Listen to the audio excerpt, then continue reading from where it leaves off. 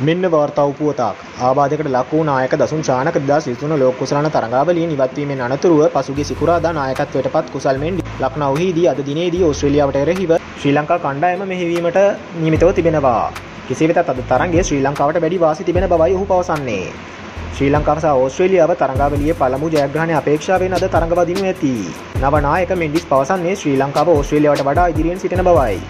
ඔව් අපි තරඟ දෙකක් පැරදුනා. නමුත් එහි අඩුපාඩු දිහා බලනකොට මට හිතෙනවා ඕස්ට්‍රේලියානුවන්ට වඩා අපි ගොඩක් හොඳට කරලා තියෙනවා කියලා.